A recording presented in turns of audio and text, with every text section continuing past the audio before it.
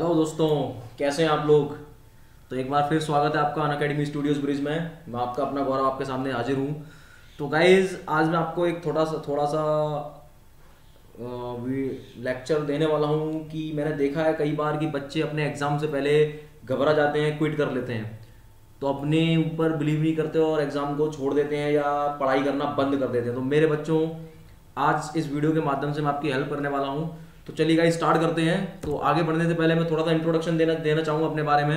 मेरा नाम Gaurav Babu as you know already बहुत सारे बच्चे मुझे फॉलो कर रहे हैं और अन अकेडमी में मुझे सब्सक्राइब कर रहे हैं, देख रहे हैं। तो गाइज़ मेरा नाम गौरव बाबू है और मैं पिछले पाँच सालों से ज़्यादा से गेट और आई की फ़ील्ड में पढ़ा रहा हूँ और करीब इस, अपने टेन्योर में इसने कार्यकाल में मैं करीब पंद्रह हज़ार से ज़्यादा स्टूडेंट्स को टीच कर चुका हूँ, जो आज गेट और आईएएस में वर्किंग में है। Apart from that I am the motivational speaker और कई सारे इंस्टीट्यूट्स के अंदर इंक्लूडिंग आई आई एंड में मैंने सेमिनार्स दिए हैं मोटिवेशन लेक्चर दिए हैं। आई आई एन आई के अलावा मैं कई कोचिंग इंस्टीट्यूट में भी अपने लेक्चर दे चुका हूँ मोटिवेशन सेमिनार्स ले चुका हूँ। मैंने गेट को कई बार निकाला हुआ है गाइस इसके अलावा मैं कई पीएसयू के एग्ज़ाम को निकाल चुका हूँ और पीएसयू में वर्किंग में भी रह चुका हूँ। आपको मेरे वीडियो अगर अच्छे लग रहे हैं, आपको लगता है कि गौरव सर के साथ जुड़ के कुछ अच्छा हो सकता है तो गाइज़ मुझे इस लिंक पर फॉलो करिए, ताकि आपको लेटेस्ट अपडेट वगैरह मिलते रहे। मेरे अलावा और भी बहुत सारे फैकल्टीज इस ऑनलाइन अकेडमी पे पढ़ा रहे हैं जो सॉरी जो ऑनलाइन प्लेटफॉर्म पे पढ़ा रहे हैं दैट इज़ अन अकेडमी तो इस अन अकेडमी में आपको कई सारे फैकल्टीज मिल रहे हैं। ऐसा नहीं है कि आपको एक ही फैकल्टी से पढ़ना फॉर एग्ज़ाम्पल आपको मेरा पढ़ाया पसंद नहीं आ रहा, दूसरे को फॉलो कर सकते हैं। तो मैनी फैकल्टीज आर देयर जिनसे आप पढ़ सकते हैं इंस्पायर हो सकते हैं और लाइफ में आगे बढ़ सकते हैं। अगर आप अन अकेडमी का सब्सक्रिप्शन लेते हो तो आपको कुछ इस तरह से विंडो दिखने वाली है, जहाँ पे आप फैकल्टी का नाम होगा, वो क्या सब्जेक्ट डील कर रहे हैं, वो सब्जेक्ट होगा, किस लैंग्वेज में पढ़ा रहे हैं, वो होगा, इसके अलावा उनकी ब्रांच होगी। ठीक?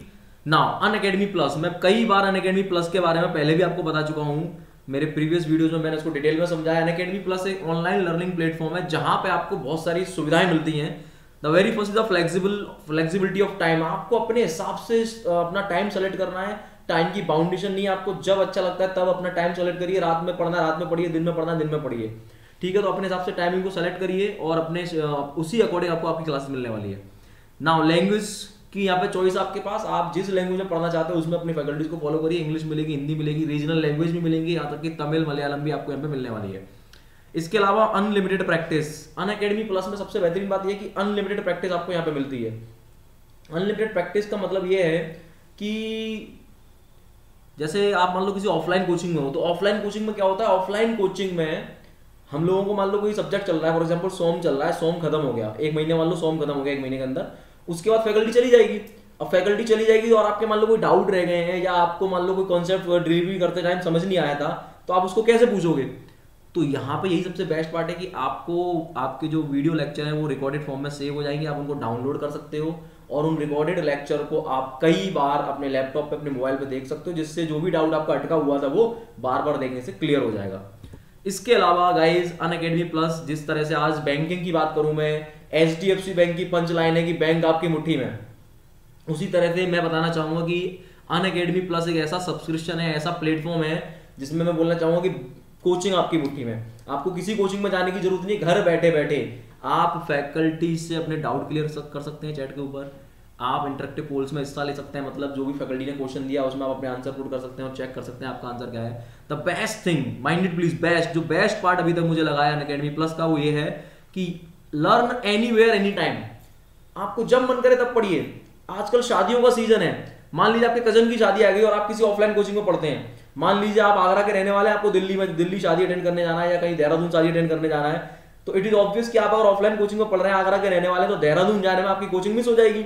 बट यहाँ ऐसा नहीं है, आप देहरादून जाइए, वहाँ पे अपना लैपटॉप ओपन ओपन करिए मोबाइल ओपन करिए नेट कनेक्ट करिए और डायरेक्टली ऑनलाइन लेक्चर लेना चालू करिए। तो यहाँ पे आपकी कोई भी क्लास मिस नहीं होने वाली, जो इस अन अकेडमी प्लस का सबसे बेहतरीन पार्ट है। समझ मारिए guys now I am from the mechanical engineering branch मेरे प्रीवियस वीडियोस आपको अच्छे लग रहे हैं, आपको ये वीडियो जो मैं बताने जा रहा हूँ अच्छा लगता है तो गाइज़ आप मुझे फॉलो कर सकते हैं।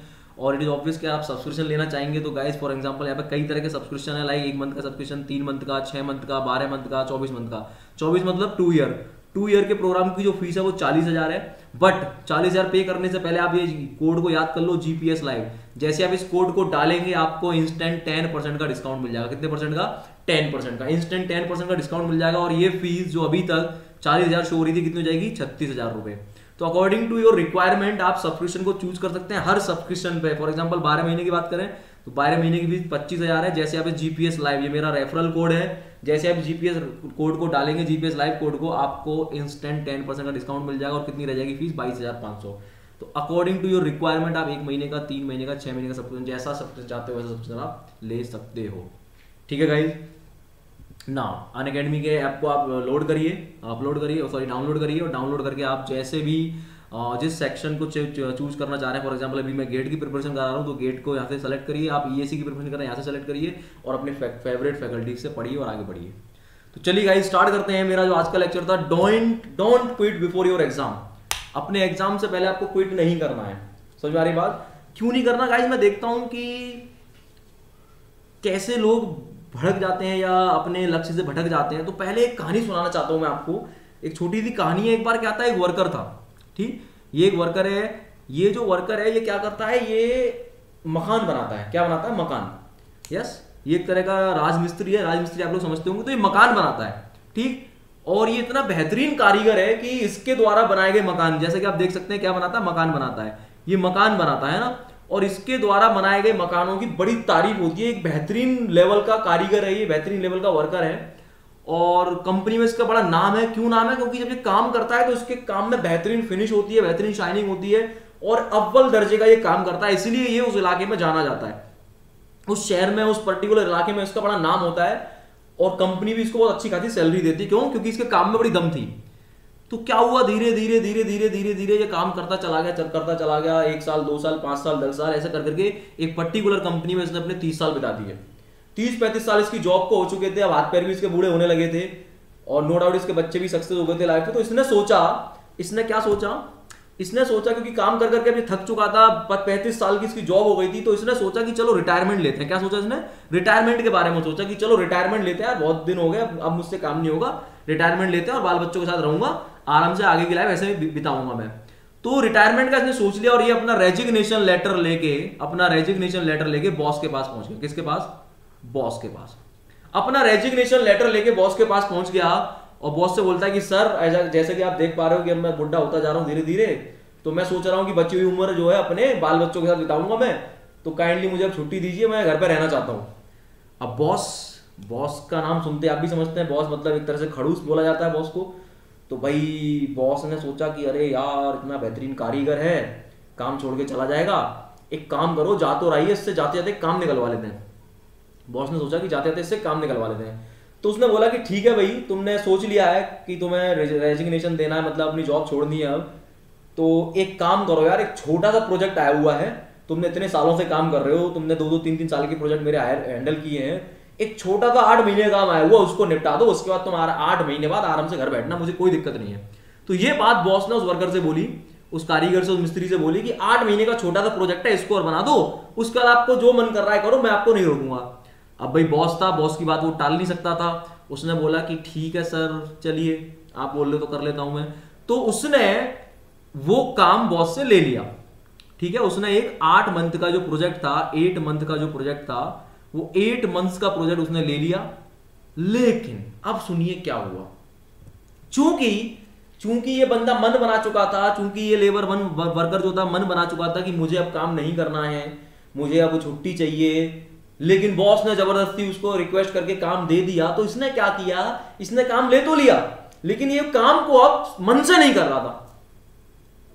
पूरी शिद्दत से जो पहले ये काम करता था, उस तरह से काम नहीं कर रहा था। क्यों? क्योंकि इसने मन बना लिया था कि यार, मुझे तो छुट्टी चाहिए थी बॉस ने ज़बरदस्ती काम दे दिया है, चलो यार, निपटा देते। तो निपटाने वाला काम कर रहा था। वो पहले वाली शाइनिंग नहीं थी, वो पहले वाला टच नहीं था, वो पहले वाली फिनिशिंग नहीं थी। सिर्फ़ और सिर्फ़ काम कर रहा था। तो गाइस क्या होता है? धीरे धीरे धीरे धीरे ये काम करता जाता है, करता जाता है और आठ महीने की मेहनत के बाद एक मकान बनके तैयार होता है। ठीक? तो ये अपने बॉस को बुलाता है कि, सर, आइए, मकान बन गया है और एक बार चेक कर लीजिए। तो आठ महीने के बाद उसने बॉस को कॉल किया कि, सर, मकान बन चुका है, आप आइए प्लीज़ इसको चेक करिए। तो बॉस बोलता है, ठीक है, मैं कल आता हूँ। तो बॉस अगले दिन उस मकान को देखने जाता है। बॉस आराम से बैठ के उस मकान को देखता है, मुआयना करता है, थोड़ी बहुत देर बाद बैठता है, बात करता है उससे। और बात करने के बाद जब वो बाहर जाता है बॉस तो बॉस बाहर जाते हुए उस मकान की चाबी उस वर्कर को देता है, उस लेबर को देता है, उस कारीगर को देता है और बोलता है कि, भाई, तूने पैंतीस साल मेरे यहाँ काम किया तो ये जो मकान तूने बनाया है, ये मेरी तरफ़ से पैंतीस साल की मेहनत का गिफ्ट है तेरे लिए। बॉस ने बोला, ये मकान मेरी तरफ़ से तेरे लिए पैंतीस साल की मेहनत का तोहफा है। गाइस जैसे ही ये चाबी उसके हाथ में आई, वो ज़मीन पर बैठ गया। बॉस जा चुका था, वो ज़मीन पर बैठ गया और अपने आप से क्वेश्चन करने लगा। आँखों से आँसू आ गए उसके। उसके हाथ से वो चाबी नीचे गिर पड़ी और वो ज़मीन पर बैठ के रोने लगा और बोलने लगा, काश काश काश, क्या बोलने लगा? काश काश मैं ये मकान उसी शिद्दत से बनाता जो मैंने दूसरे लोगों के बनाए। काश ये मकान में उसी मेहनत से बनाता जो मैंने दूसरे लोगों के लिए बनाया। काश ये मकान में उसी फिनिशिंग उसी टच से बनाता जो मैंने दूसरों के लिए बनाया। तो आज मैं अपने ही मकान को बहुत बेहतर बना सकता था। लेकिन ये मकान कैसा बनाया था उसने? बिना इंटरेस्ट के। इंटरेस्ट ही नहीं आ रहा था उसका क्योंकि उसने सोच लिया था कि यार पता नहीं क्या हो रहा है यार, पता नहीं किसका मकान है। तो guys same thing is happening with you यही काम आप लोग भी करते हो। इस कहानी से हमें क्या सीखने को मिल रहा है? गाइस इस कहानी से हमें इतना सीखने को मिल रहा है कि इस बंदे ने, इस बंदे ने जब इसके बॉस ने इसको काम दिया एक्स्ट्रा आठ महीने का काम तो इसने पहले सोच लिया कि यार पता नहीं किसका काम है। इसने रिज़ल्ट पहले सोच लिया। तो इसने रिज़ल्ट पहले ही सोच लिया एफर्ट्स पे ध्यान ही नहीं दिया। अगर ये एफर्ट्स पे ध्यान देता तो आज ये किसका मकान बना रहा है? अपना खुद का ही मकान बना रहा था ये। तो मेरे बच्चों, आप जो मेहनत कर रहे हो ना, आप गेट की प्रिपरेशन कर रहे हो जेई की प्रिपरेशन कर रहे हो, आप आईएएस की प्रिपरेशन कर रहे हो एएस की प्रिपरेशन कर रहे हो तो अपनी प्रिपरेशन पे बिलीव करिए। रिज़ल्ट पे बिलीव मत करिए। रिज़ल्ट क्या होगा वो बाद में आएगा, हमें नहीं पता। हम हम किसका मकान बना रहे कुछ नहीं पता। तो ये दिमाग से निकाल दो कि जैसे कि, जैसे इसके बॉस ने बोला था कि भैया आठ महीने का काम है, कर दो इसको। तो मेरे बच्चों, इसने पहले ही सोच लिया, पता नहीं किसका मकान है। तो मेरे दोस्तों, आज नवंबर हो चुका है। आधा नवंबर करीब बीत चुका है और अभी आपके गेट के एग्ज़ाम में ढाई महीने बचे हैं। तो मेरे बच्चों, रदर की आप क्विट कर जाओ कि यार पता नहीं किसका मकान बनाना है, पता नहीं गेट का रिज़ल्ट क्या आएगा। इससे बेहतर ये है कि आप अपने एफर्ट्स पे फोकस करो, ना कि रिज़ल्ट पे। क्योंकि रिज़ल्ट आएगा आपके एफर्ट्स से। आपके एफर्ट्स में दम होगी, तभी रिज़ल्ट आएगा सर तो हमेशा हमें ध्यान देना चाहिए एफर्ट्स पे। क्विट करने से कुछ नहीं होने वाला। इस बंदे ने क्या गलती करी थी? इस बंदे ने यही गलती करी कि इसने रिज़ल्ट पहले सोच लिया कि पता नहीं किसका मकान है, जबकि वो किसका मकान बना रहा था? अपना खुद का ही मकान बना रहा था। तो गाइज़ आप लोग जो मेहनत कर रहे हो ना, जो आज आप कोचिंग जाते हो, दिन रात मेहनत करके पढ़ते हो तो गाइज़ वो आप अपने लिए ही पढ़ रहे हो, आप अपना मकान तैयार कर रहे हो। समझ अपने ही मकान को आप तैयार कर रहे हो तो मेरे बच्चों क्विट नहीं करना है। अपनी मेहनत पे बिलीव करना है और आगे बढ़ना है। समझ में आ रहा है? बिल्कुल भी मत सोचो कि रिज़ल्ट क्या होगा। ये सोचो कि एफर्ट्स कितने डालने हैं मुझे।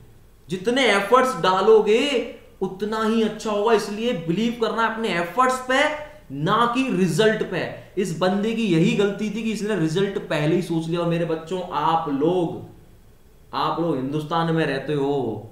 है ना? हिंदुस्तान की धरा पे आप लोग रहते हो, हमारे हिंदुस्तान की धरा में कन्हैया जी ने बोला है कि कर्म कर, फल की इच्छा मत कर। इस बंदे ने फल पहले ही सोच लिया भाई भाई, भगवान बोलते हैं कि कर्म करो, फल की इच्छा मत करो, फल तो मैं दूँगा।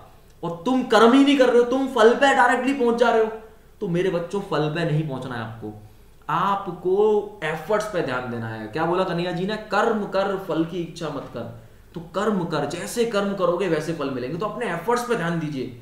अपने एफर्ट्स लगाइए, वो जिस तरह से इस बंदे ने जो काम कर रहा था आठ महीने का, अपने एफर्ट्स में फिनिशिंग नहीं थी टच नहीं था, एक शिद्दत नहीं थी तो बेटा यही गलती आप लोग करते हो। आपको लगता है कि यार ढाई महीने बचे, पता नहीं क्या होगा यार। मैं बता रहा हूँ, ढाई महीने ढंग से पढ़ने बैठ गए ना। ढंग से अगर आपने अपनी सारी एनर्जी को चैनलाइज कर लिया, सारी दुनियादारी भूल के अपने एफर्ट्स में अगर आप लग गए ना अच्छे से तो मैं बता रहा हूँ दोस्तों, कोई भी एग्ज़ाम बड़ा नहीं है। तो कि क्विट नहीं करना है, मैंने देखा है बहुत सारे बच्चे क्विट कर जाते हैं। कैसे क्विट कर जाते हैं? एक सब्जेक्ट मान लो छूट गया। सोम नहीं हुआ। भाई, एक सब्जेक्ट छूटा है ना, नौ सब्जेक्ट तो हो रखे हैं ना आपके। तो मेरे बच्चों, एक सब्जेक्ट आपका सिलेबस एक सब्जेक्ट छोटा सा आपका फ्यूचर डिसाइड नहीं करेगा। एक टॉपिक कोई छूट गया और साहब ये टॉपिक तो मुझे आता ही नहीं, मेरा गेट नहीं निकलेगा। तो इन छोटी छोटी बातों को नेगलेक्ट करना चालू करो, अपने एफर्ट्स पे काम करो और जितना अच्छा एफर्ट्स पुट कर सकते हो, जितनी मेहनत कर सकते हो, अभी कर लो। ढाई महीने मेरे बच्चों और मैं बता रहा हूँ, जिस तरह से इस बंदे ने गलती करी थी कि ये क्या कर रहा था, ये एफर्ट्स पे ध्यान ना देके रिज़ल्ट पे ध्यान दे रहा था प्लीज़ आप लोग ऐसा नहीं करेंगे, अपने एफर्ट्स पे ध्यान दीजिए, क्योंकि आप लोग किसका मकान बना रहे हो? अपना मकान बना रहे हो। इसलिए ये मत सोचना कि भगवान ने मुझे क्यों दे दिया यार, मैं नहीं मैं क्यों पढ़ाई कर रहा हूँ? आप अपने लिए पढ़ाई कर रहे हो, इसलिए जितनी अच्छे से शिद्दत से पढ़ाई करोगे, उतना ही बेहतरीन आपका रिज़ल्ट आने वाला है मेरे बच्चों। तो इसलिए प्लीज़ प्लीज़ सुन लो, इस कहानी से यही सीखने को मिलता है कि पहले से मत सोचो कि आपका सिलेक्शन होगा कि नहीं होगा। आप कोई नहीं होते सिलेक्शन करने वाले। आपके हाथ में सिर्फ़ एक ही चीज़ है। ऑलवेज रिमेंबर एक गुरु मंत्र दे रहा हूँ। ज़िंदगी में सक्सेस होने का सबसे बेहतरीन मंत्र समझ लो। उस काम पे फोकस करो जो आप कर सकते हो। उस चीज़ पे एफर्ट डालो जो आपके हाथ में है। उस काम के बारे में कभी मत सोचो जो आपके हाथ में है ही नहीं। क्या रिज़ल्ट आपके हाथ में है?